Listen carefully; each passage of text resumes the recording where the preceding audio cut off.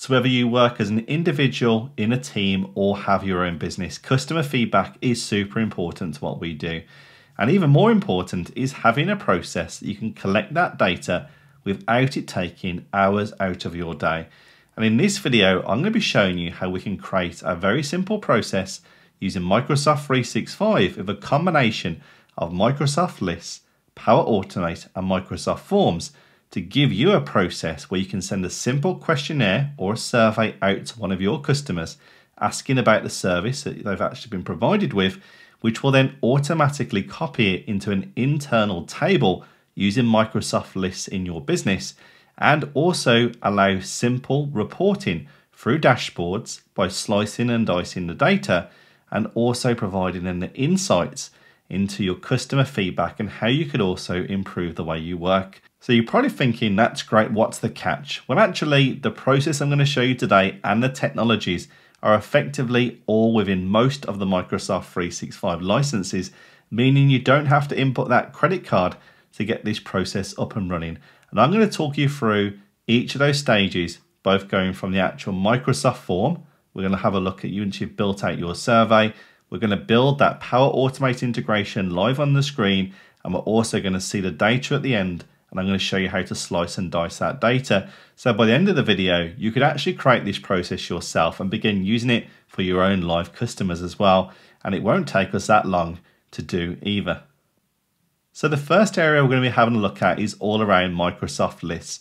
Microsoft Lists is actually built on top of SharePoint to provide a structured way that we can store data in the way it's actually stored as a table. So we're going to have a look at creating a few columns for our data set.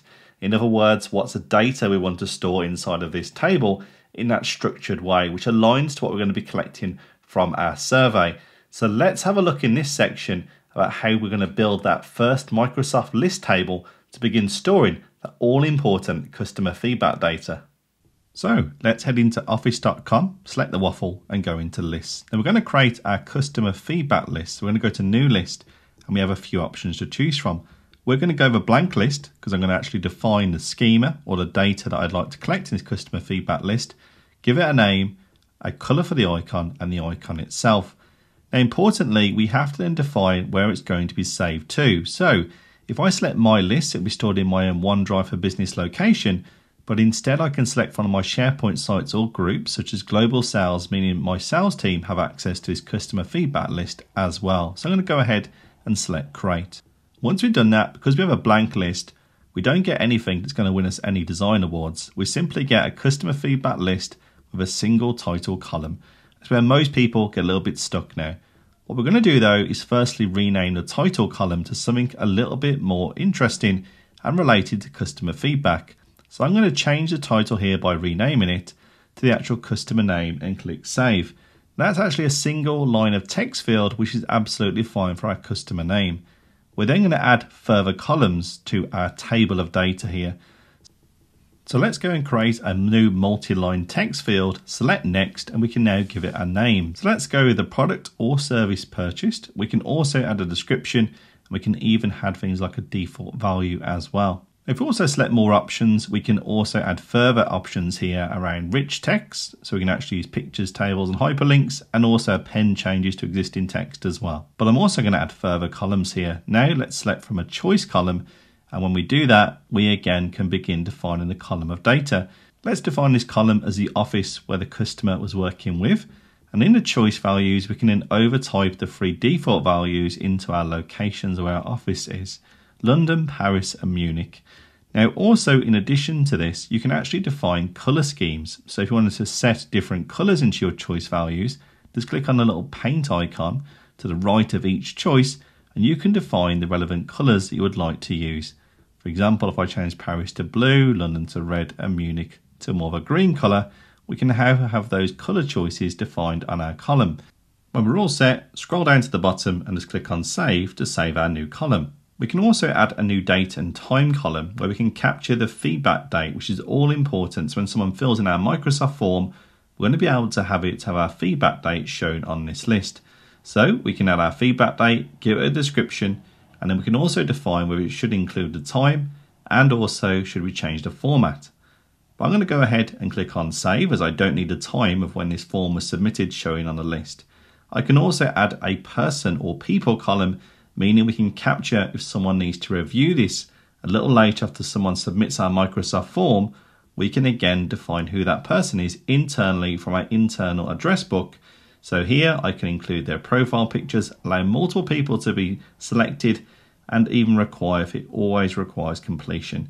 So once that's done, we've now got our person who's going to review this feedback being added to our list also. Now we're going to go ahead and then give it a test. So I'm going to add a new item into our feedback list just manually without integrating our Microsoft form at this point. And here I can just input the data to make sure all of the data types are working correct, all of the field choices are right from the choice columns and our, also our date columns. Super important. And that person is reviewing our data. This is always recommended before you even begin integrating it with a Power Automate or in this process, a Microsoft Form and Power Automate process, because we need to ensure the data looks correct and can be inputted correctly before you run any new integration. We can see from our quick test there Contoso PLC is all looking good. So now we have our table of data, we need to be able to integrate it with forms. Microsoft Forms will of course become our collector. We're going to send that survey link out to someone to fill in and return to us.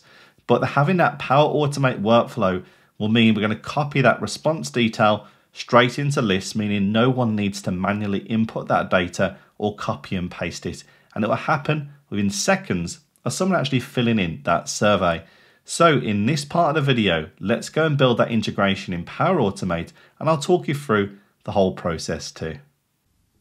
So as we're going to use Microsoft Forms as a method to collect our data, whether that's from an internal or external party, I've went ahead and created a very simple survey aligning the questions what we're capturing in Microsoft lists and also aligning the choice values I want to capture inside of my Microsoft lists being fully aligned to what I also have on my Microsoft form for our feedback survey.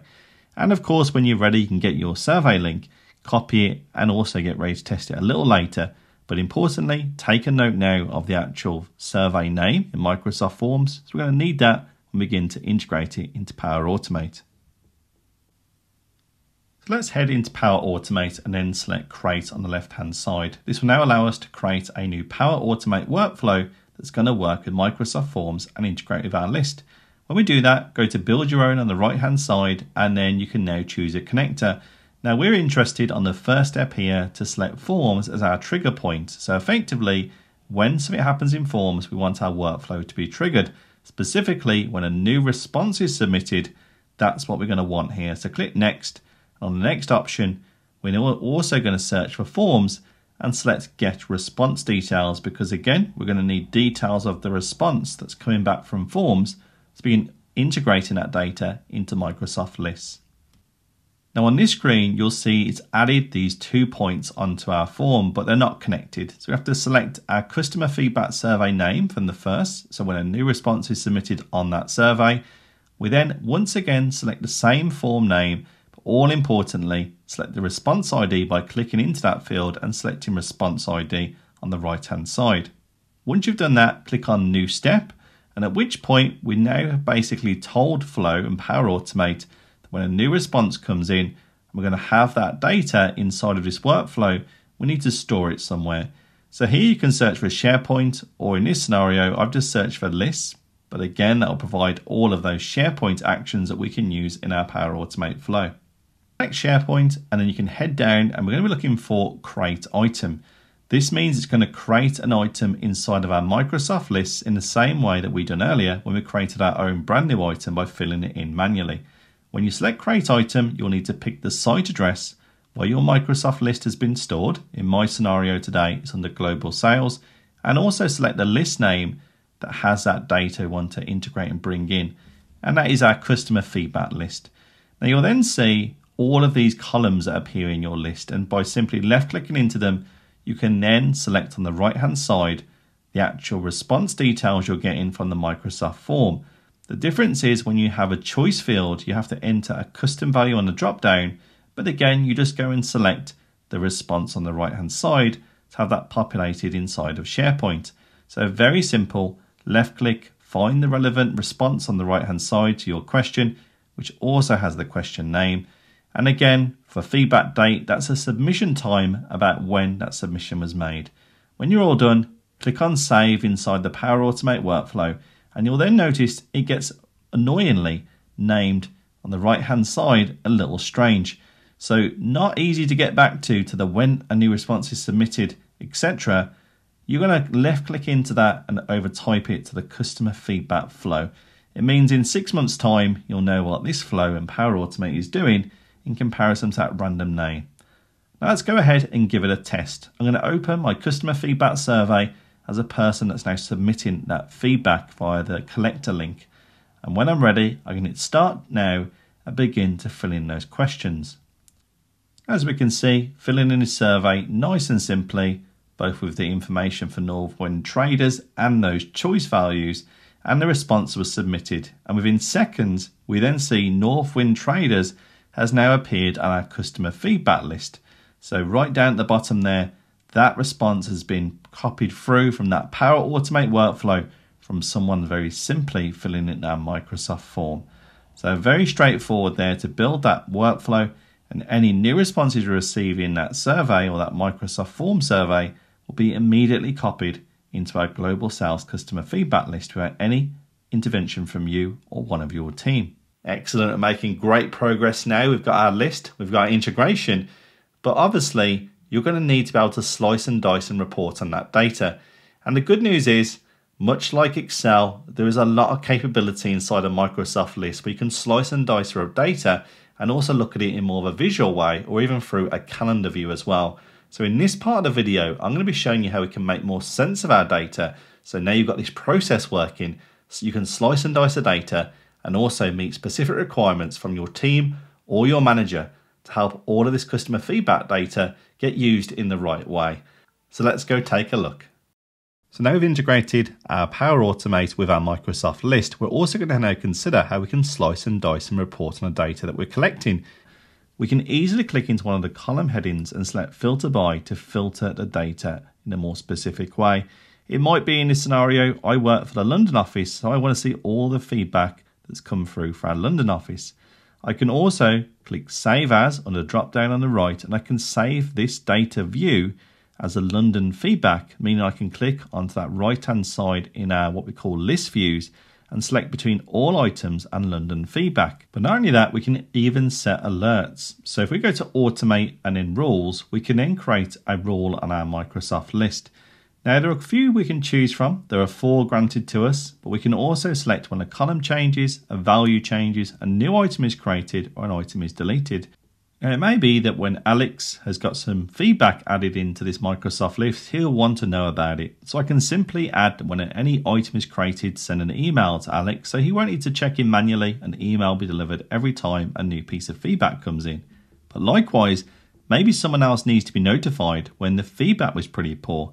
So what we can do is when a column value changes, we can simply have it emailing the director of the company to let them that the service was pretty poor.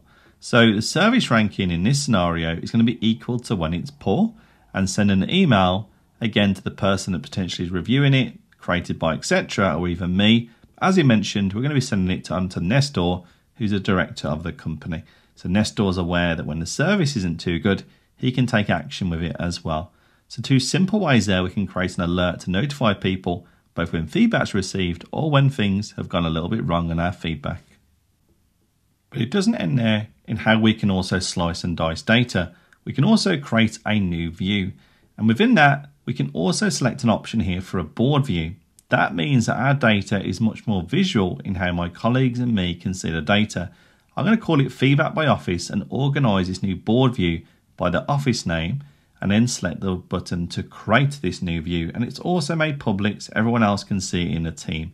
And there we go. In our board view, rather than that kind of view of our old data being very much Excel driven, we now see a very visual board view. They're all grouped by their office name, and we can simply click into each of these items inside of each office in a very visual way. Not only that, on the right hand side under this new board view, you can also select customize card and you can use a new card designer to decide what will appear on the actual card itself. So maybe there's a few fields you don't need or a few fields that you do need. Very simple to change with no coding experience required. And everyone loves a good calendar view. So we can also create a brand new view and mark it as calendar and define the dates on which they also apply to the calendar. Now we only have one date in our feedback is actually feedback date. So I've selected it for both those, but I can also in another option define the customer name so I can appear as a title when we look at this new calendar view. We'll give it a name and we'll go ahead and click on create. And again, mark it as being visible as public. So me and the whole team can use this view looking forward. And there we go, a very simple view of our data now mapped onto a calendar with the title appearing. I can also then click into any one of these on our calendar. And much like we do in Outlook, we then see the underlying data alongside the feedback and the dates and so forth. So very simple to use and use a calendar view to get to all of your data inside a Microsoft list. Not forgetting your existing data can also be accessed back under the all items for quick access in a more traditional way. And that's it. We've now finished that whole process. I've taken you through creating a list, the Power Automate workflow to copy the data, and all importantly, how you can slice and dice the data. You now have the skills to go and create your own customer feedback process using Microsoft 365 and begin to improve the way you and your team work. We hope this video certainly helps and also we would love it if you could subscribe to our channel so we can create more great content like this and also hit the like button as well. Not forgetting to check out our free Microsoft 365 ebook which is linked in the comments below. So head to that link and you can download it for free which has a huge amount of tips and tricks on Microsoft 365. Otherwise, we'll be seeing you in the next one.